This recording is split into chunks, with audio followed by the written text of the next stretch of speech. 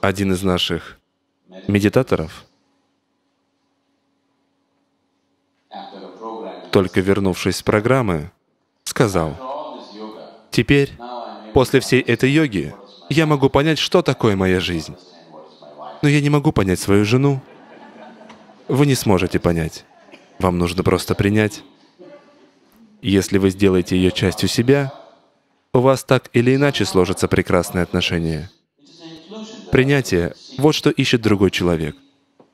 Вы совсем не должны понимать каждую мысль и каждую эмоцию. На самом деле люди почувствуют дискомфорт, если вы будете все понимать. Не так ли? Люди не ищут понимания, хотя утверждают, что ищут именно его. То, что им нужно, — это принятие, не так ли? Принятие — вот к чему вы стремитесь в отношениях.